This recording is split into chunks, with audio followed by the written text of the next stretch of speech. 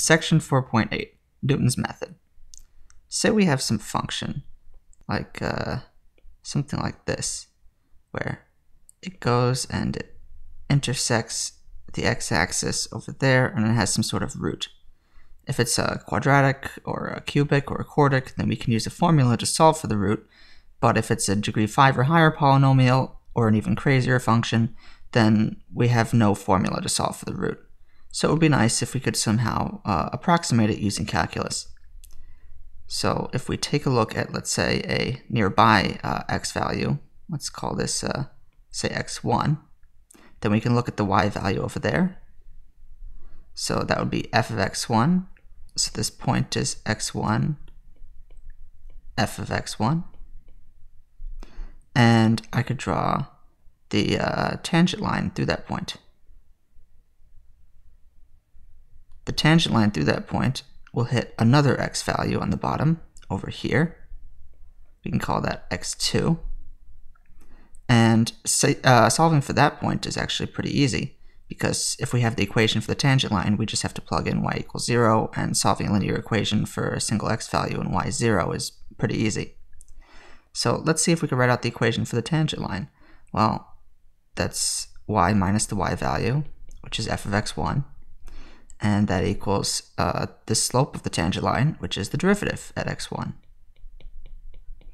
times the difference in the x values, x minus x1. We would like to know what the uh, value of x2 is, that close by root, or pseudo root, because it's just going to be an approximation. So we plug in 0 for y, and we keep f of x1 and then we keep f prime of x1 and we plug in the uh, x value that we're looking at x2 so then we solve for this. What we do is we um, let's see we have minus f of x1 equals f prime x1 times x2 minus x1 so we can distribute the f prime. And then we want to get uh, x2 all by itself. So we add f prime x1 times x1 to both sides. So we get um, f prime x1 minus f of x1 equals f prime x1 times x2. How about I write that? f prime x1 uh, times x1 minus f of x1 equals f prime x1 times x2. So all we have to do is divide by f prime x1. So that'll end up being x1 minus f of x1 over the derivative equaling x2. So if we were to do this uh, entire process again, we would again look at the point above, draw another tangent line, and that would get us even closer to the root that we actually want. And then we could do that again and again and keep drawing tangent lines as we get closer and closer to R. So this entire process of keep drawing tangent lines, keep looking at where those are zero and each of those x values that make that y zero for that tangent line getting closer and closer to the root is called Newton's method. We let xn be the nth approximation of the root r for a function, then the next approximation is equal to the previous one minus the y value over the derivative at the previous approximation. So let's do uh, an example of this. We'll start with uh, x1 equals 2 and try to find the third approximation x3 to the root of the equation x cubed minus 2x minus 5 equals 0. This is actually the uh, polynomial that Newton chose to illustrate his method. By the way, notice that if we look at Newton's method, we're dividing by the derivative. So if the derivative is 0, the method fails. If the derivative is um, near 0, the method can also fail, and in a couple other cases. So you do have to be careful in certain, in certain situations. But let's go back to our example. Let's let f of x be equal to x cubed minus 2x minus 5. So then our derivative by the power rule is 3x squared minus 2. So we write out Newton's method, xn plus 1 equals xn minus fxn over f prime xn. So that means that this is equal to xn minus, well, f of xn is you just plug in xn over here for these x's. So that's xn cubed minus 2xn minus 5.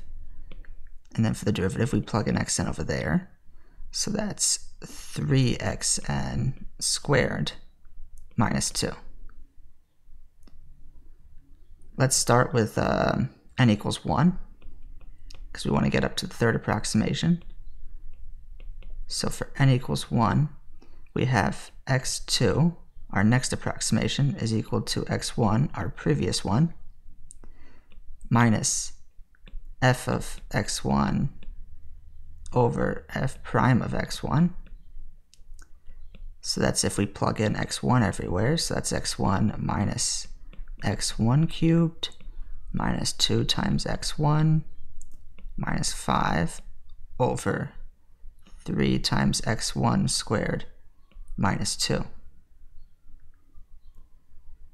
Okay, so that's uh, 2 because we said x1 will be starting with 2.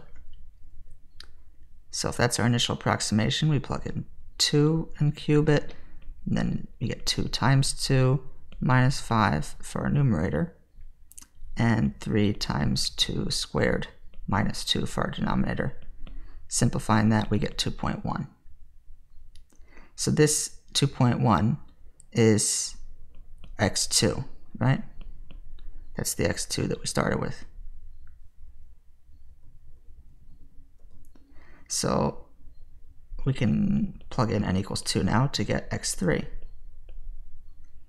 So for n equals 2, we have x3 is equal to x2 minus x2 cubed minus 2 times x2 minus 5 over 3 times x2 squared minus 2. We no longer care about x1. We only use the to get x2. So that's 2.1 minus 2.1 cubed minus 2 times 2.1 minus 5 all over 3 times 2.1 squared minus 2. That ends up being uh, about 2.0946.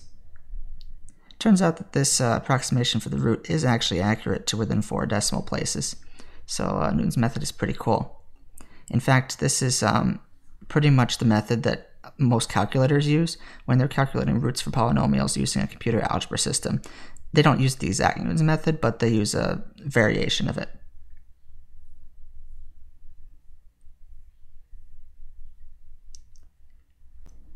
In our previous example, we said that um, our root would be accurate to within four decimal places.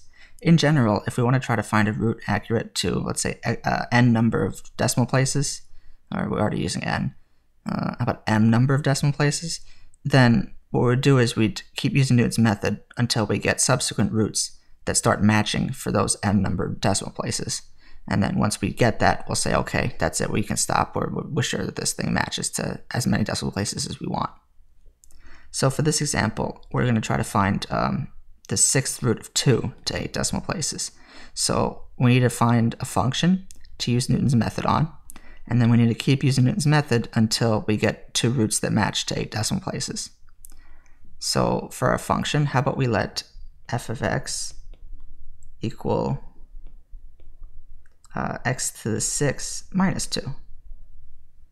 Because the root of that polynomial, x to the 6 minus 2, is uh, exactly the 6th root of 2. 6 root of 2 is 6 minus 2 is equal to 0. So when this thing equals 0 is when x is equal to 6 rooted minus 2. If we look at the derivative, f prime of x, that's 6x to the fifth. So we have, at this point, everything we need to use Newton's method. So xn plus 1 is equal to xn minus f of xn over the derivative. And in this case, that's equal to xn minus xn to the 6 minus 2 over 6 times xn to the 5th. So we can uh, ironically use a calculator. If x1 is equal to, well, let's see, what would be a good approximation? Well, not a good one, but at least some sort of approximation. Well, plugging in 2 here would make this thing way too big. 2 to the 6 minus 2 wouldn't even be close to 0. So a good round number that's, I guess, the closest by we can get is 1. 1 to the 6 minus 2 is minus 1. That's pretty close to 0, so it's a decent way to start. So let's let x1 be 1 then x2, if we plug in 1 over here, 1 over here, and 1 over here, ends up being 1 minus 1 to the 6 minus 2 over 6 times 1, which is about 1.1666667. And x3, if we plug in x2 to that process, we do it all over again, we get that it's 1.1264436 We plug in x3 and we get that x4 is 1.122462205. Then we plug in x4 to get x5 as 1.122 46205. And if we plug in to get x6, then we also get 1.122462205. Since those agreed to eight decimal places, we say that the sixth root of 2 is approximately 1.122462205, accurate to within eight decimal places.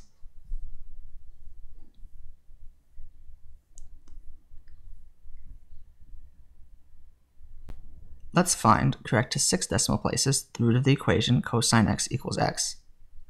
So let's write this in standard form as cosine x minus x equals 0.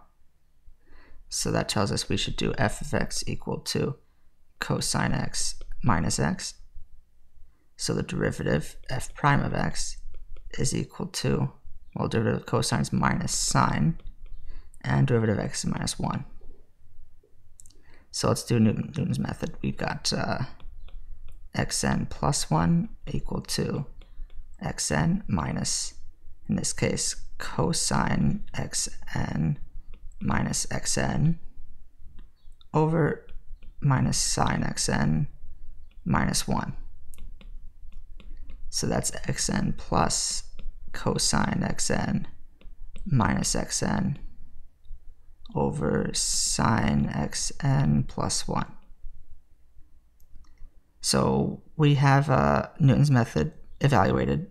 In general, we need to find a starting root approximation. So how about we take a look at the graphs of these guys. So if this is y, this is x, then we can say that that's cosine so over here is pi over 2, and over here is pi. And then we need y equals x. Where they intersect is where our root is. So here's y equals x, and here's our root. So it looks like the x value for our root is close to pi over 2, which is around like uh, something like 1.6 or whatever. So let's choose uh, x1 equals 1. That's pretty close by. So if x1 is equal to 1, then x2, we plug in x1 equals 1, so 1 plus cosine 1 minus 1 over sine 1 plus 1, and we get that x2 is approximately 0.7503637. Plugging in again, we get that x3 is about 0.7391129. X4 is about 0.739085513. And then X5 is about 0.739085513.